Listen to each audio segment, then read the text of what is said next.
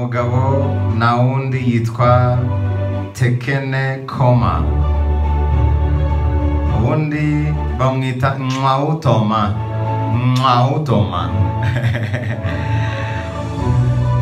hari abantu bo muri afurika ushyiramo akantu nk'ako ngako kugira ngo usome amazina yabo hari umukinnyi wo muri mamelodi niba kibamo simbizi yitwaga ngo nwa uyu mugabo rero yitwa nwawutoma nwawu benshi bamumenye muri sinema nk'umukinnyi w'imena muri filime the gods must be crazy. Yamamaye mu rwanda ku izina rya sagatwa yinjijwe mu mwuga wo gukina sinema atabisobanukiwe.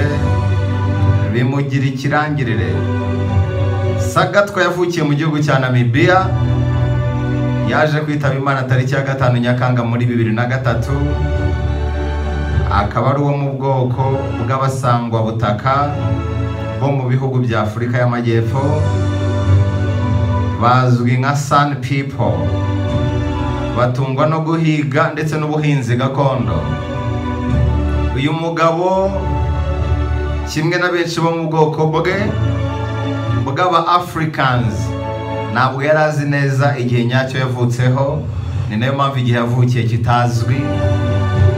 Ndetse mbere gato yo gukina filime ya mbere the gods must be crazy ntabwo yari asobanukiwe neza imikoreshereze y'ifaranga.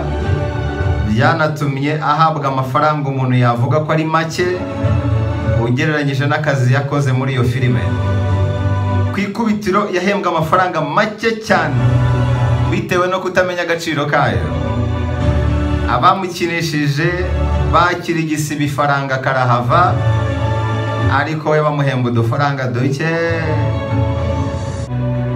Iyi filime sagatwa yakinnye yinjirije ba nyirayo akayabo k'amadolari y'amerika miliyoni mirongo itandatu. Mu gihe uyu mugabo wakinishijwe nk'umukinnyi w'imena bivugwa ko yahawe atarenga magana atatu. Tekereza ibyo bintu.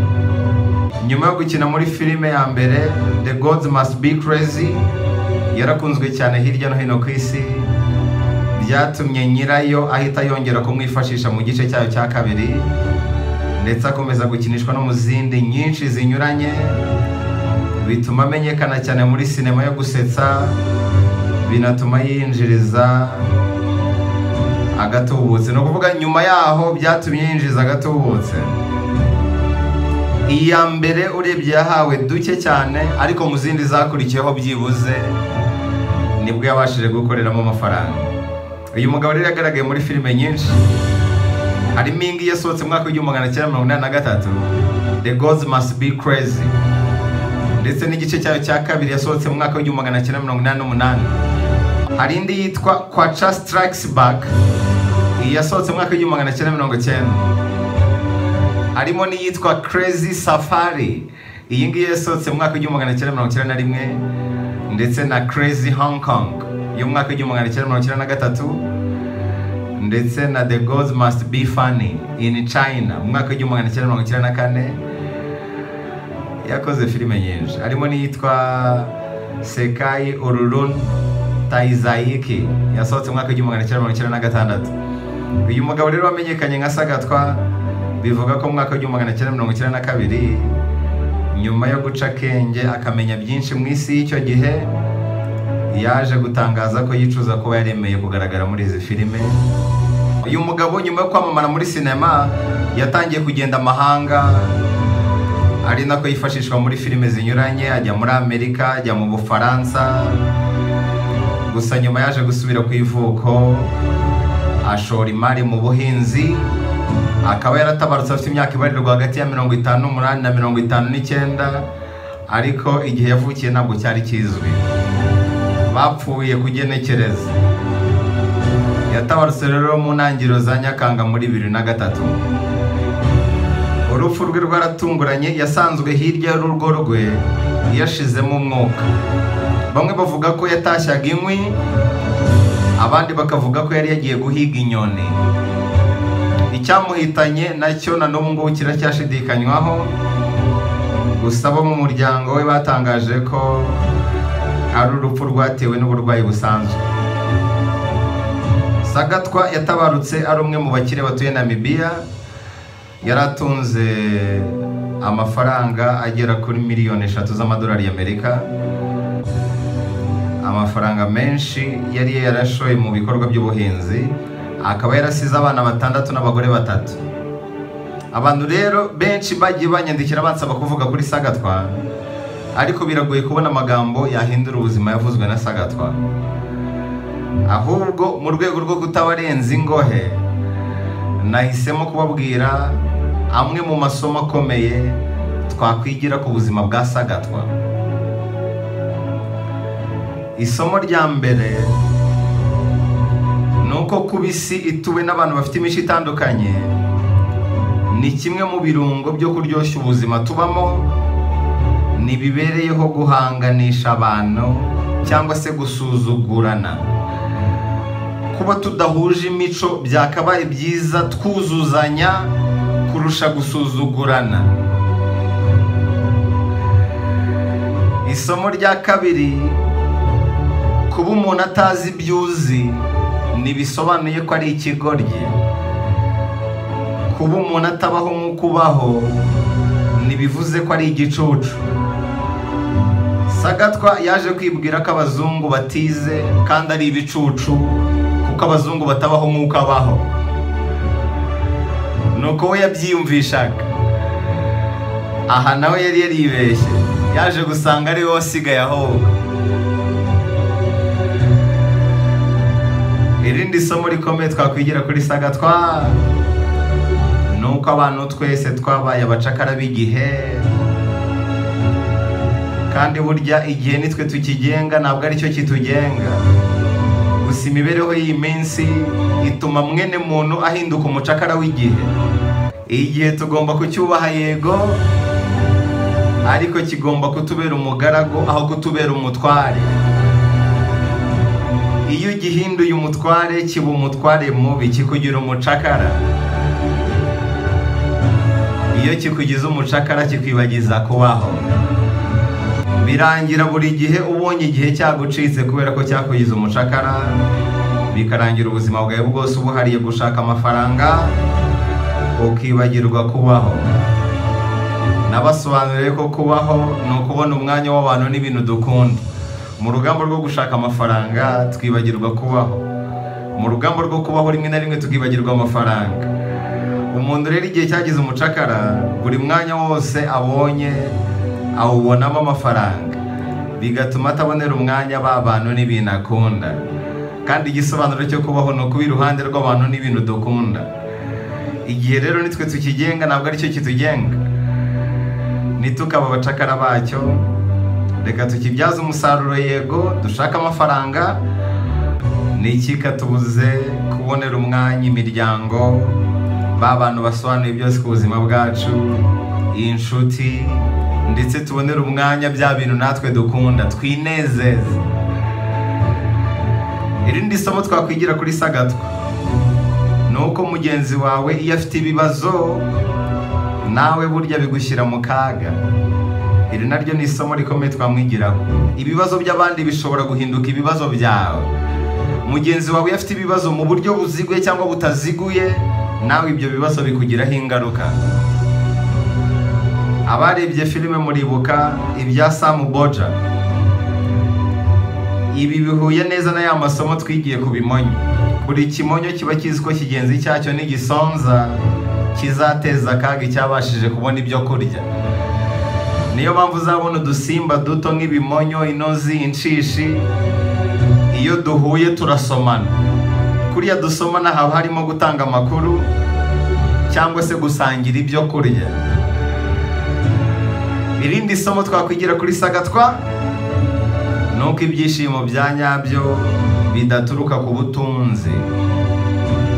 Umuntu wese wabonye iriya filime yahita yiyumvisha. Uburyo mbere y'uko rya cupa riza ibintu byose byari bisangiwe mu muryango wo kwa sagatwa. Ariko rimaze kugwa bararirwaniye buri wese ashaka kumenya icyo kintu bumvaga ko ari impano yoherejwe n'imana. Ibi byabateye umwiryane no kwigunga umutware wabo rero aza gufata icyemezo afata inzira yerekeza ku mpera y'isi kugira ngo asubize iryo cupa imana yaryohereje. Nyuma yo gufata icyo cyemezo umuryango wo kwa sagatwa urasubirana usubirana wa munezero bahoranye. Nibyo murababwira ngo ibyishimo ni amahitamo. Iteka ryose ubutunzi bw'isi ni bwo nyirabayazana mu gushyamiranya abantu. Abantu benshi bicana bapfa ubutunzi batandukanywa n'ubutunzi babura amahoro kubera ubutunzi ibibi byinshi bigera ku bantu bibageraho mu nyungu z'abashaka kwigwizaho ubutunzi.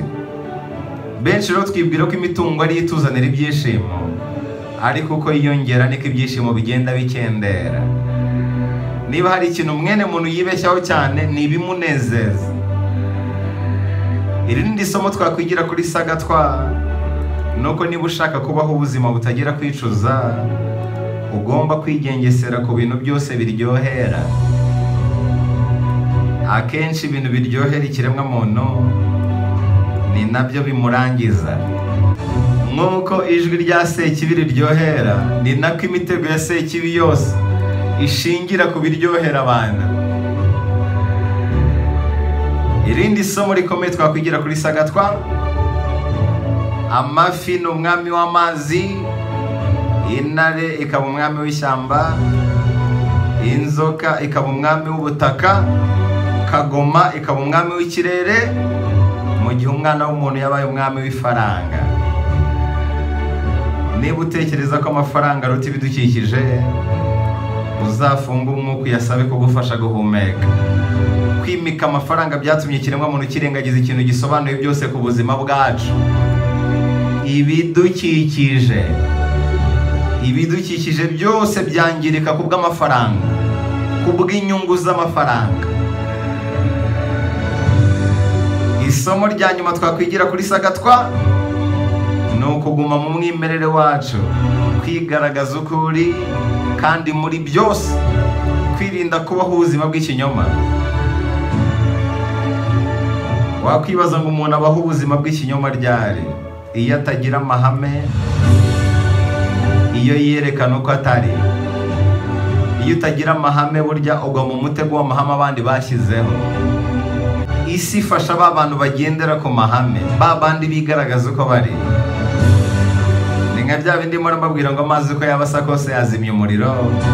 Ariko ibi ngibi bisaba yuko amazi agumana umwimerere wayo. Uyu munsi ushobora kuba utari amazi yo kunywa imbere y'abantu benshi. Aho ugeze hose bakubonamo amazi yo gukoropesha amazi yo koza ibyombo amazi yo kuhiza imyaka. Ntabwo bakubonamo amazi yo kunywa. Ariko iyo ugumye mu mwimerere wawe amazi uko yaba asa kose yazimya umuriro kandi amazi uko yaba asa kose yatunganywa akanyobwa amazi atakaza umwimerere wayo iyo atakibasha gusukika iyo atakibasha gutemba. Urabona amazi iyo uyafashe ukayashyiramo ifu n'aba akibasha gutemba aba yatakaje umwimerere wayo. Umuntu nawe atakaza umwimerere we iyo atagira amahame. Iyo yigaragaza uko atari. Iri rero ni isomo rikomeye twakwigira ku buzima bwa sagatwa. Kuguma mu mwimerere wacu kugira amahame no kwigaragaza uko uri ukabaho ubuzima bw'ukuri. Ibibazo byinshi bitugeraho biterwa no kwigaragaza uko tutari. Kwemera ibyo tutazasohoza n'ibindi bitandukanye. Bantu rero bifuje amagambo ya sagatwa baranyandikiye benshi pe. Harimo abantu bari barabivuyemo bavuga ko nanze kumuvugaho ariko biragoye kubona amagambo nyirizina yavuzwe na sagatwa. Ahubwo wenda hari amasomo umuntu yamwigiraho. Yakwigira kuri lifestyle ye ubuzima bwe kuri yagaragara muri filime ndetse n'ubuzima nyine yari abayemo mbere n'ubwo yabayemo nyuma kugeza anapfuye ibyo rero ni byo nifuje kubasangiza uyu munsi mu ijambo ryahindura ubuzima